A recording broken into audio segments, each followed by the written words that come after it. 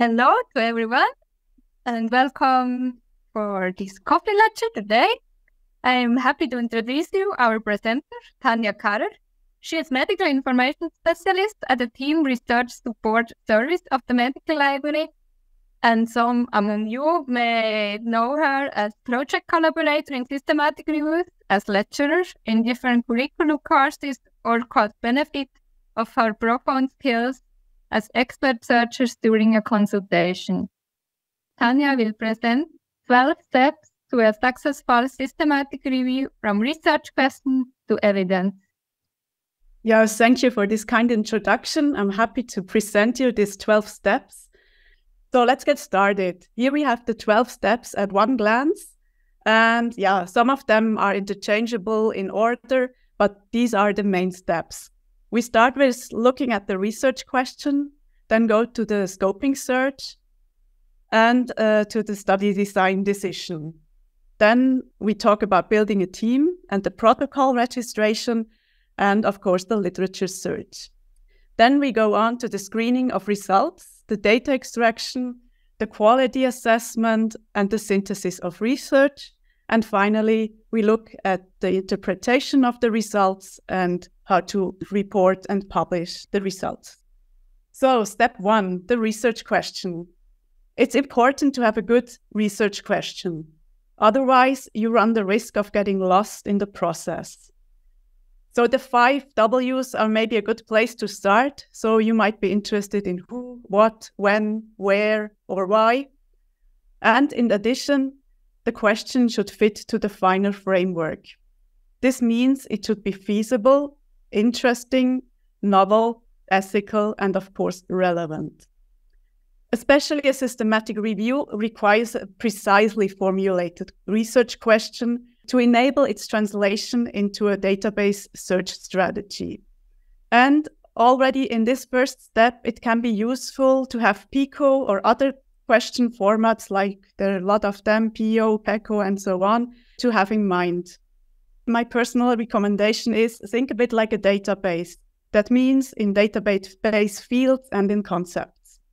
And ask yourself already when formulating your question how do authors write about your topic in scientific articles? Step two is the scoping research. Scoping searches allow you to explore your topic. This can be done through quick and dirty searches in Google Scholar or PubMed or in one of the AI powered research tools like Litmaps or Research Rabbit, and there are many more. Find a choice of AI tools on our website. And before you invest more of your valuable time, please check if someone else is already working on your topic. You can do so by taking a look at the registries for systematic reviews, where Prospero is the best known one. But there are others like OSF, Research Registry, INPLASY Protocols IO, or JBI for scoping reviews. Step three is about the study design decision. It is the research question that will determine which type of review you need to follow. So, so much in advance, it doesn't always have to be a systematic review that answers best your research question. In the picture here, you find a tree with different kinds or types of reviews ordered into families offered by the University Library of Melbourne. And on the at the bottom of the slide, you find a link where they explain how to find the best review type for your research questions. I think it's worthwhile to take a look at this link if you're unsure which type of review you want to go for. In our daily work, we see many master students who conduct a systematic review on their own. For their work, that's fine, that's okay, but actually, that's not the point of a real systematic review. The goal of a real systematic review is improve the evidence, and in order to reduce bias, the team needs to be composed of a variety of experts, like subject experts, method experts, or information specialists like me and my colleagues. And maybe you might need a statistician or even writing experts. So, if you're interested in how to lead um, your team in a successfully way, there was a coffee lecture last semester, and I recommend you to look at the slides or the video of it if you're interested in this topic. Step five, the protocol registration. Before you start the project, we strongly recommend that you create a protocol. A protocol is kind of a research plan. It forces you to think about the project and its implementation in advance. It's also recommended to record the protocol in a register. This way, other researchers can see what you're working on and double work and research waste is avoided. Tania Rivero, a colleague of mine, has created two different templates, one for Prospero and one for, Prisma P, and they are on SciFlow. Uni B members, they have free access to this SciFlow. If you don't have access, just write us an email and we send you a document, a Word document with these templates. They're quite helpful. And again, there are different registers for protocol, Press Prospero, as I mentioned. The problem with Prospero is that it gets more restrictive with accepting protocols. So maybe you want to switch to one of the others listed here. And again, for scoping reviews, you can register them on JBI, the Joanna Briggs Institute. Step six is our main job here in the research support team of the medical library.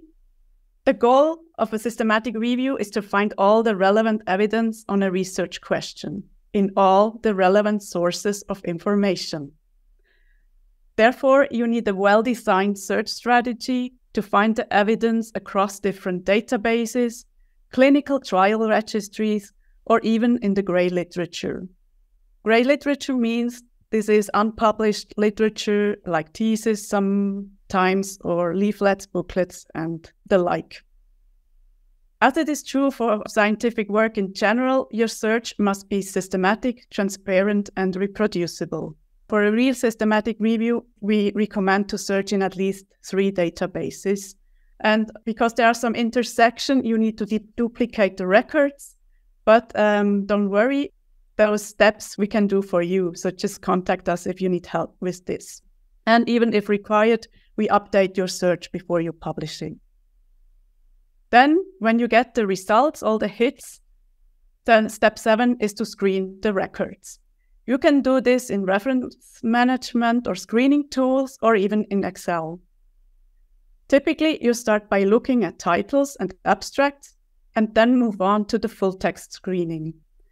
This process of including and excluding studies should be documented in a Prisma flowchart. We've already had some talks about those tools that help you with the screening. You find them at the bottom of the slide here again if you want to have a look at them. Step eight is data extraction. Once all the items have been screened, it is important to collect the exploitable data from them. Especially if you're doing a quantitative review, the data needs to be comparable. You can find them in sources, in outcomes, in study designs, in the number of participants, in the results, and so on.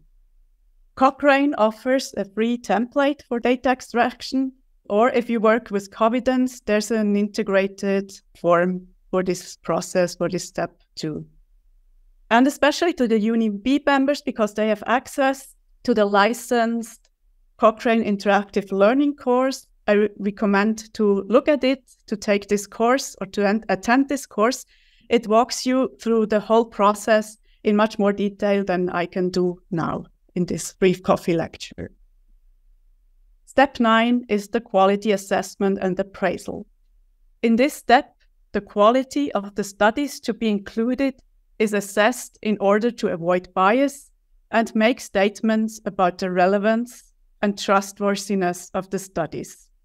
There are several checklists that help you to do so. I really like to draw your attention to last week's coffee lecture for this step, um, unveiling bias going beyond the study types my colleague talked about the latitude network, which helps you to choose these tools according to the study types you're interested in.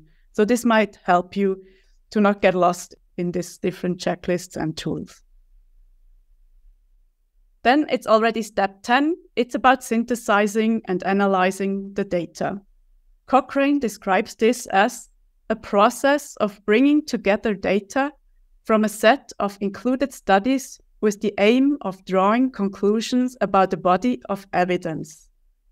This will include synthesis of study characteristics and potentially statistical synthesis of study findings. So this means if you plan to make a meta-analysis, it's here in step 10 where this is done. More information about this step can be found in the Cochrane Handbook and especially in chapter 9. The penultimate step is to interpret the findings. Are they applicable for your field of research? Are they generalizable and valid? And are they transferable?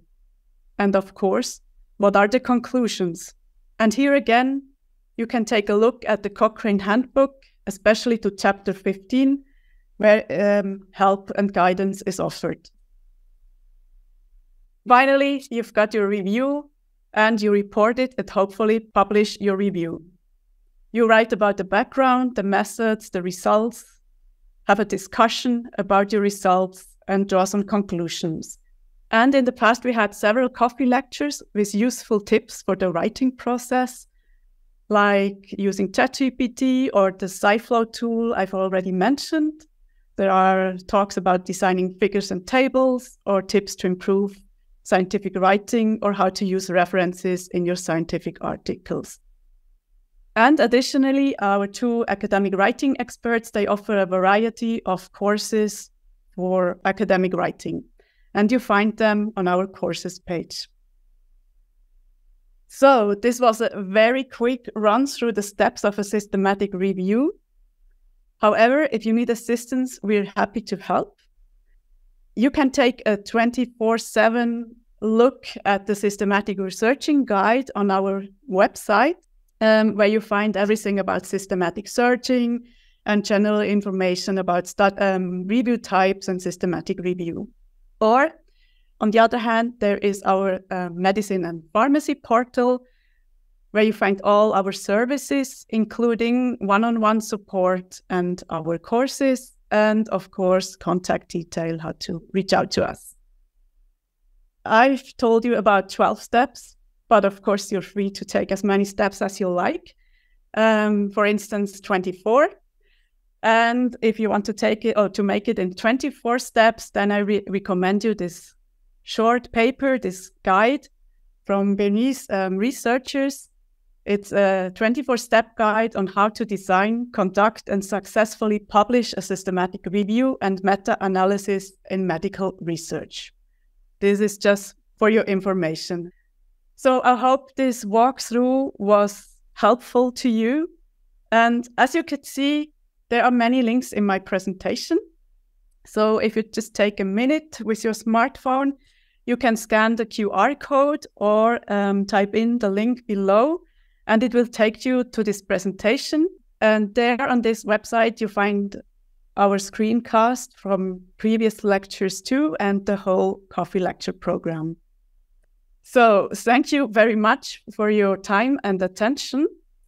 And now I'm curious of your questions or discussion about your experiences with conducting systematic reviews.